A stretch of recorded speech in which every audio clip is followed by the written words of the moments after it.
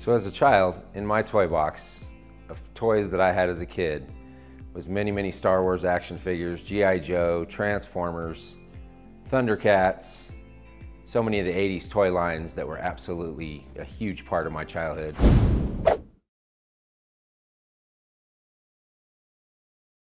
So I very first started collecting in 1994 when my best friend at the time was working with me in construction. We were driving home from a construction site one day. We both collected as kids. He collected comics and I collected toys.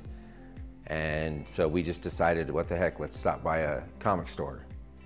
And so we stopped by a comic store on our way home and went in and it was right when the new Star Wars figures were coming out, late 1994.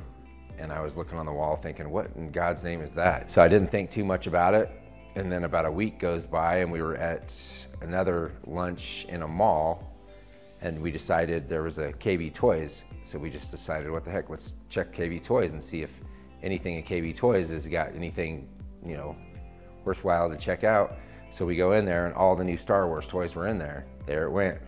I went right back into my childhood collecting and started collecting new Star Wars. And After that, started, you know, getting into vintage probably two or three years later, and then slowly went into mint and packaged items probably 1996-ish, and then carried on after that.